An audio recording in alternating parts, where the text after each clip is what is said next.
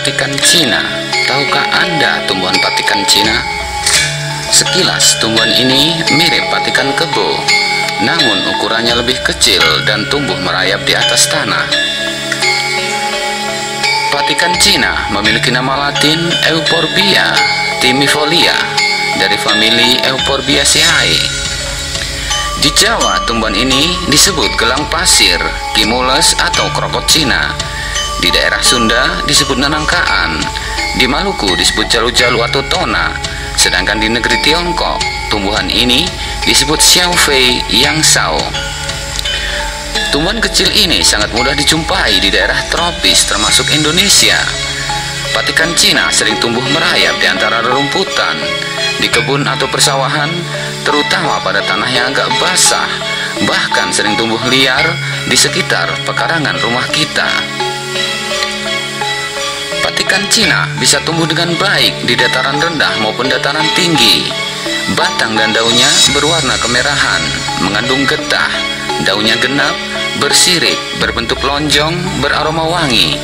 Bunganya berwarna merah muda. Selama ini bagi kebanyakan orang, patikan Cina lebih identik dengan tumbuhan gulma atau tumbuhan liar pengganggu. Untuk itu, patikan Cina sering diabaikan, bahkan dibasmi. Namun tahukah Anda, ternyata patikan Cina adalah tumbuhan herbal yang memiliki manfaat atau khasiat luar biasa bagi kesehatan karena seluruh bagian tumbuhan ini mengandung banyak zat dan senyawa alami yang dapat digunakan sebagai bahan pengobatan tradisional mengatasi berbagai macam jenis penyakit. Akar patikan Cina mengandung mirisil alkohol, terakserol, tirusalol, kamzuyol, dan hendriasonten. Sedangkan batang daunnya mengandung kosmosin. Patikan Cina memiliki efek antiinflamasi, peluruh air seni, menyejukkan, mengurangi gatal, sering digunakan sebagai obat diare, disentri, tifus, wasir berdarah, eksim, alergi kulit, herpes, gatal-gatal, abses payudara. Inilah beberapa manfaat atau khasiat tumbuhan patikan Cina bagi kesehatan. Manfaat yang pertama, mengobati penyakit wasir berdarah. Caranya, sediakan sepertiga genggam patikan Cina, sepertiga patikan kebo, tiga jari gula enau, satu jari rimpang kunyit, dan tiga gelas air. Cuci semua bahan sampai bersih, lalu rebus semua bahan dengan tiga gelas air. Tunggu sampai mendidih dan tersisa menjadi setengah gelas saja.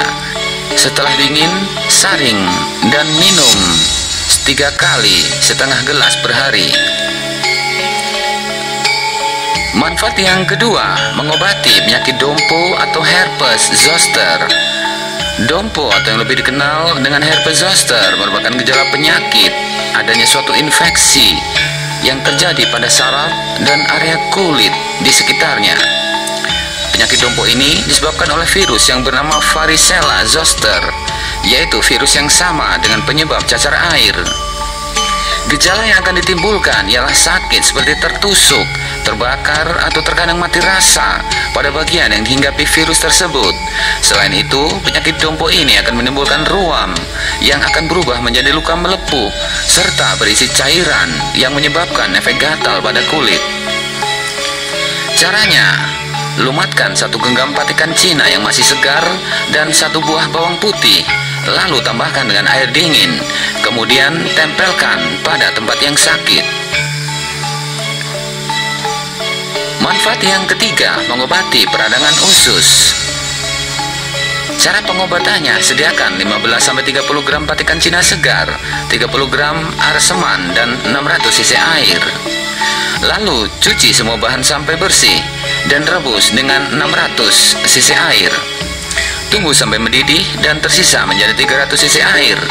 Kemudian saring. Setelah itu, minum ramuan tersebut dua kali sehari, masing-masing 150 cc. Manfaat yang keempat, mengobati abses payudara. Caranya, tumbuk halus patikan Cina segar bersama gula enau secukupnya. Lalu tempelkan hasil tumbukan pada bagian tubuh yang membengkak. Lakukan pengobatan tiga kali sehari secara rutin. Manfaat yang kelima mengatasi penyakit disentri basiler. Caranya, cuci bersih 15-30 gram tumbuhan patikan Cina kering atau 30-60 gram patikan segar. Rebus bahan tersebut dengan 3 gelas air sampai tersisa satu gelas. Minum air rebusan dua kali sehari, masing-masing setengah gelas. Manfaat yang keenam, mengobati enzima, dermatitis, dan kulit gatal. Caranya, rebus daun patikan Cina segar secukupnya, lalu gunakan air rebusan tersebut untuk mencuci bagian tubuh yang sakit. Lakukan pengobatan dua kali sehari secara rutin sampai gejala penyakit mereda atau benar-benar sembuh. Itulah beberapa manfaat atau khasiat tumbuhan patikan Cina bagi kesehatan. Mudah-mudahan bermanfaat bagi Anda dan keluarga Anda. Jangan lupa subscribe, share, like, dan komen videonya ya. Karena subscribe Anda sangat berarti bagi kami untuk terus membangun channel ini lebih baik lagi.